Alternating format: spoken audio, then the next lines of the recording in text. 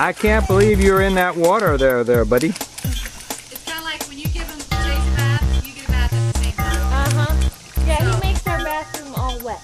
Exactly. So I always take two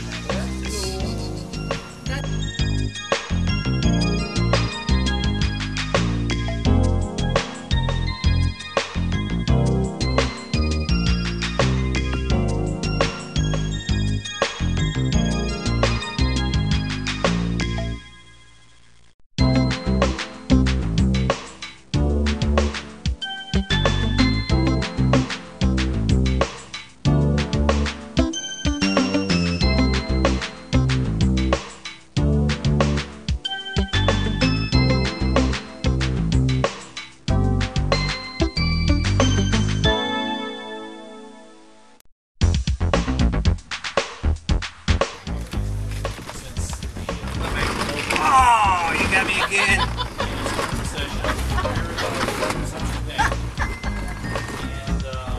What's the thing you think you need? Something over there that boy likes. Is there something in there you need? uh? Say, yeah, that's, that's daddy's stuff in there. Okay. Well, you know, and me being an old Republican kind of guy, but you know what? That's not right. Oh, look at the 80% bubbles. free, free supply, and the price is going up in the, in the recession. That doesn't.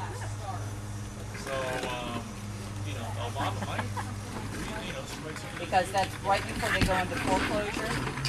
And then if it goes into foreclosure, then it's the bank that's gotta make the decision if they'll accept the offer.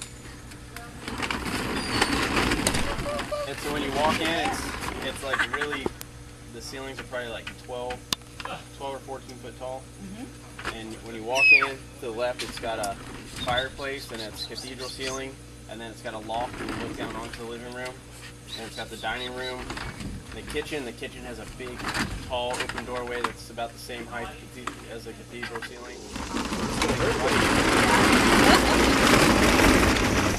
Looks like the I will, I will tell you that, that when they stuck that in my foot, and they didn't put all that much in my foot when I heard it, that, that didn't feel good. No, I've had three in my foot.